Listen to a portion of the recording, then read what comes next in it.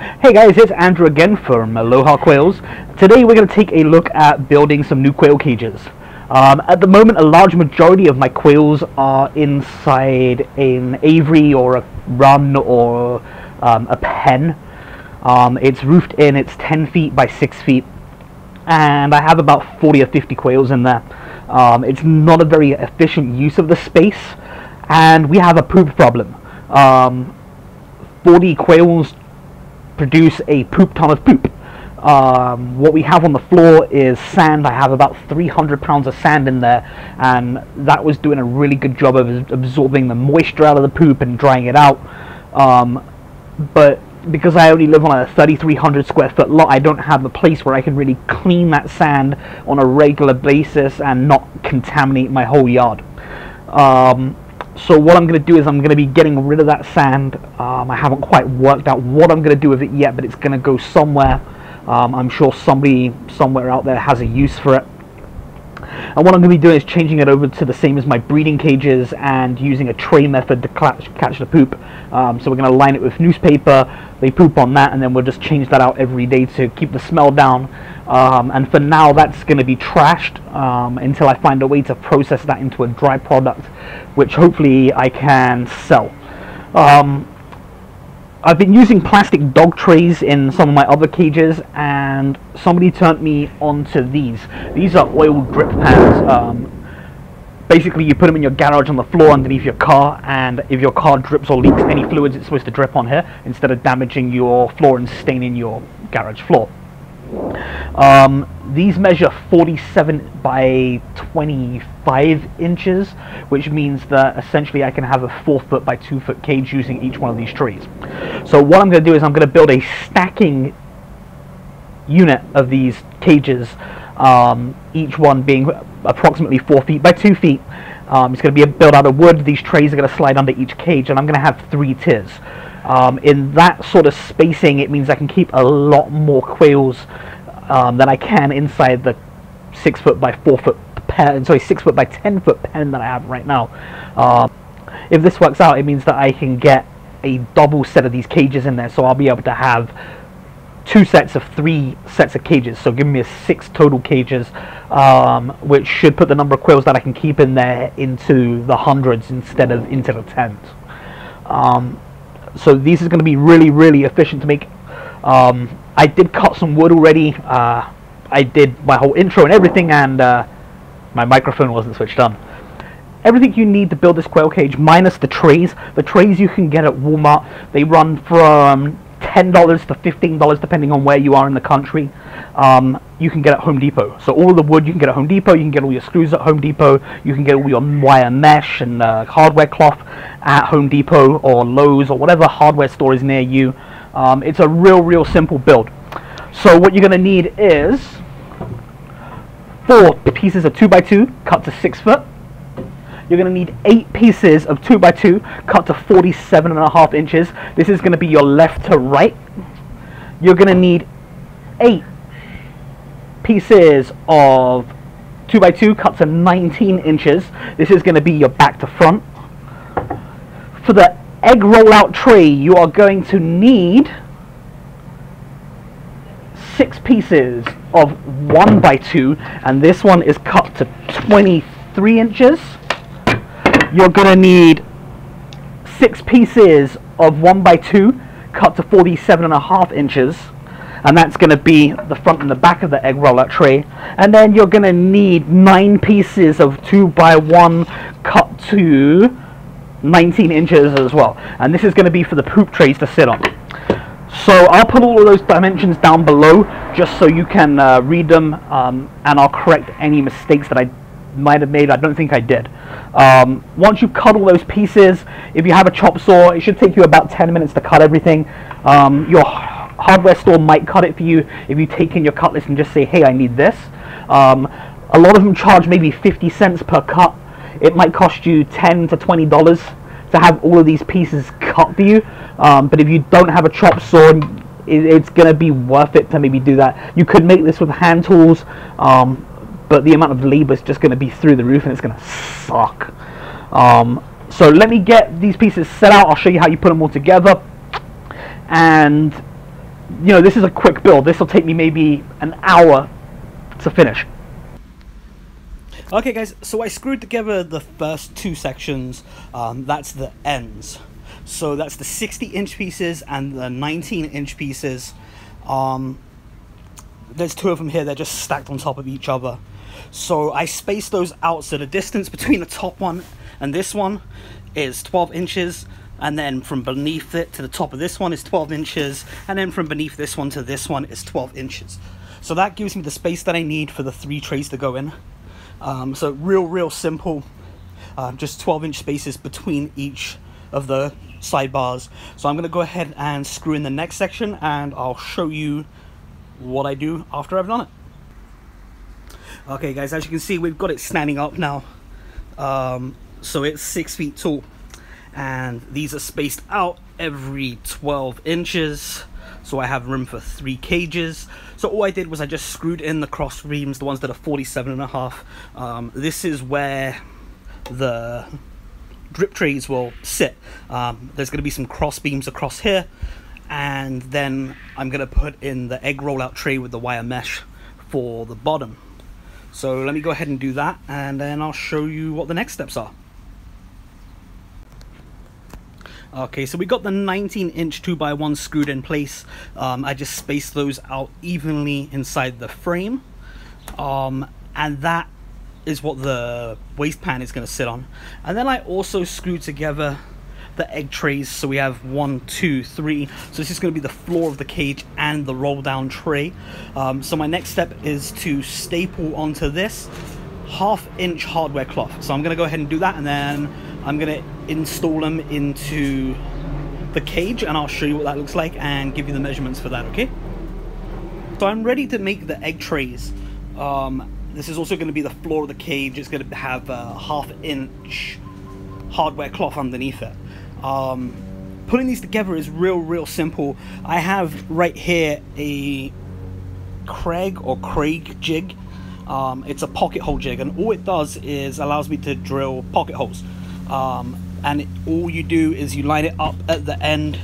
You use the drill bit that's supplied with it with the blocker on it. You drill down and it makes two pocket holes which means that the screws are hidden. It doesn't split your wood. So I'm going to go ahead and drill these and then I'll show you what it looks like after. Um, back with you in a second. In one go.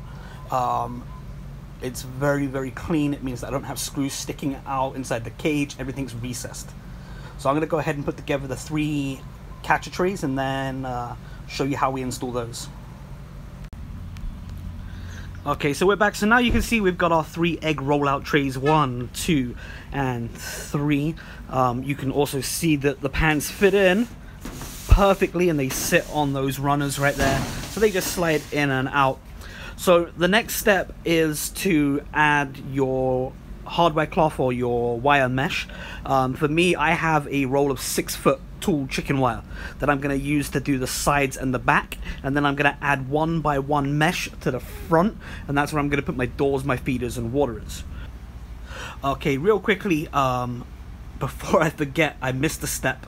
Um, so I'm just coming back to let you guys know the spacing at the back of the cage between the shelf for the tray and the egg roller this space here is three inches at the back and then at the front all I did was I put a piece of 2 by 2 in here. So this is one and a half inches at the front. So three inches at the back one and a half inches at the front. That gives you a one and a half inch roll. That's the perfect amount of roll for your eggs to come down to the front.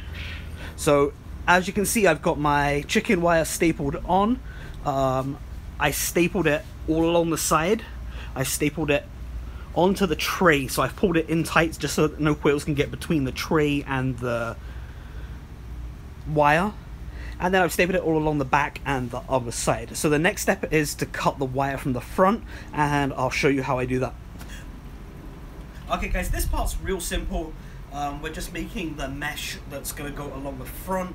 This is going to have your door in it it's going to have your feeder and it's going to have your water in it. It's going to be 49 inches across by 10 inches deep. Um, typically these rolls come in 24 inches, so from this we're going to make two rows. So we're going to actually make uh, four total. The extra one I'll just keep until I build another set of cages Um, so all you're gonna do is count out 49 squares and cut there, and then we're gonna split that into two 10 inch sections.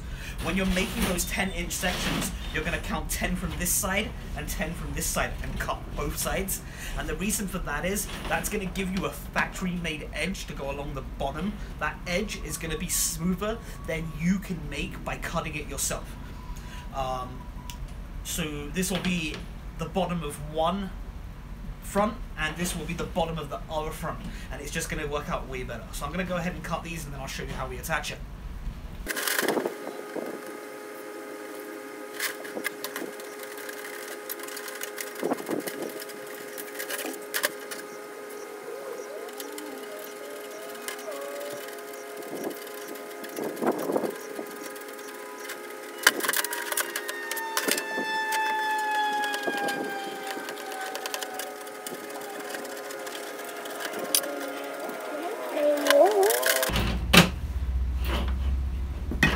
Okay, so we have two of these and uh, I'm going to take you over to the cage and show you how we attach them.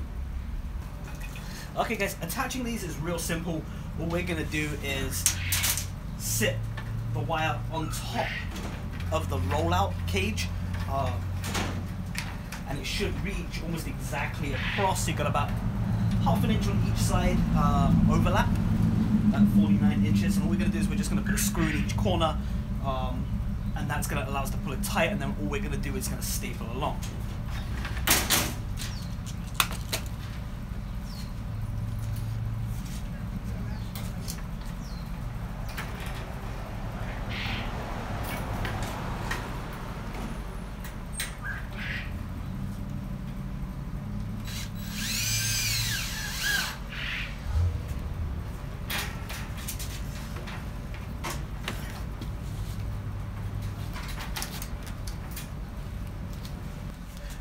Okay guys, so we've got the front of our cage attached. I put some screws in on the sides, a couple of extra ones on the top, and then I just stapled along. That's gonna hold it in place. And then you've got a space right here for our egg roll down. Um, so for cutting the door, um, I'm gonna put a centralized door a little bit wider, uh, maybe 10 inches or so across. Um, you can cut the door however you want, but here's a quick tip. When you're cutting the door, if you want the door to be this wide, you want to make sure that you cut down at the center of the door so that you have a central point like this. So let me cut a few of these and I'll show you.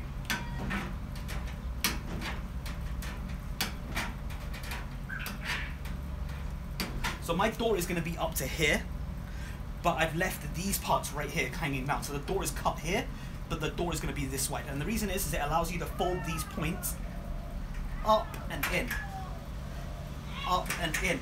And that means that you don't have to cut them off. It doesn't leave you a sharp edge right here. So you're not going to scratch yourself um, when you're using the door. So I'm going to go ahead and cut my door and then I'll show you how we make the door.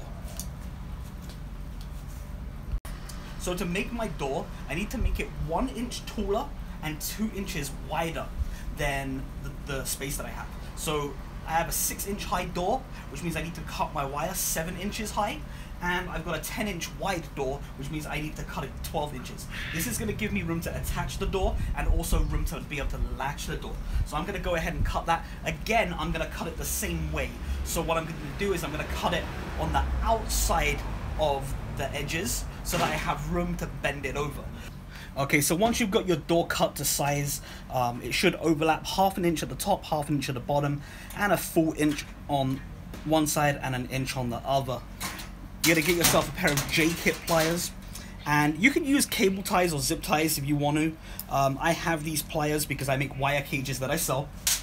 Um, if you're gonna be making a lot of cages, they're definitely worth the investment. And all you gotta do is put your J-clip inside and on the one side half an inch above the top you're to just join them together and it should sit nice and snug and then you're to get another J-clip and you're to do the same thing at the bottom.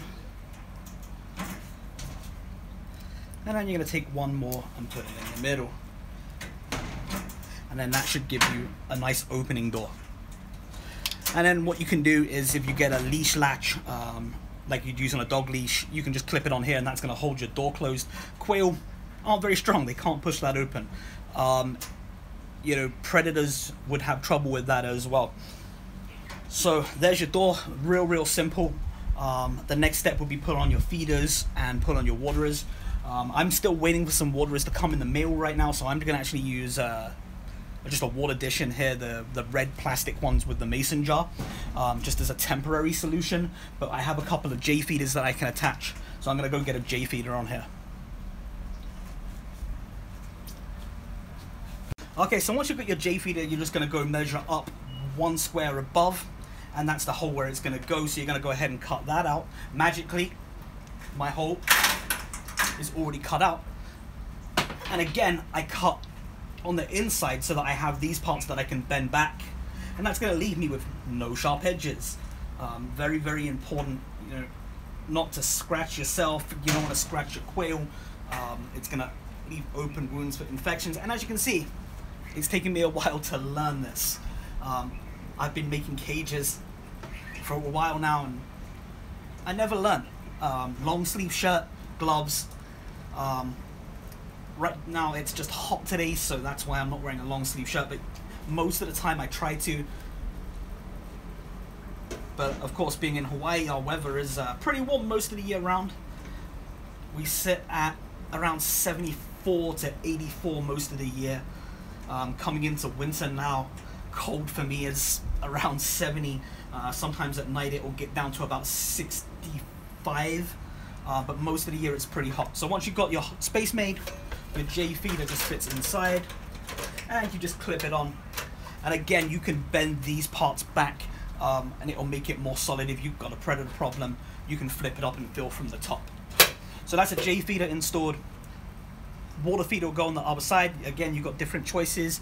Um, you've got the tippy cups, um, which go horizontal. They go on the outside of the cages.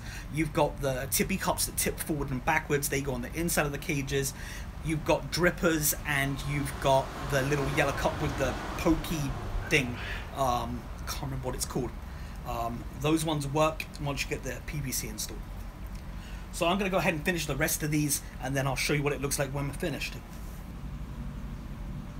Okay, there you go, guys. Um, one finished cage. I've got the fronts on, I've got the top on, I've got the doors in. All I've got to do is add two more J feeders and pick up another tray and then add my watering system. Um, I just need to grab some extra parts to finish that off, but other than that, the cage is done. We've got the top on it. Um, total build time was about two hours, uh, a little bit longer because I kept stopping the film. Um, but real real simple to build. As I said is anyone can do this. Uh, your local hardware store will have everything you need in one place.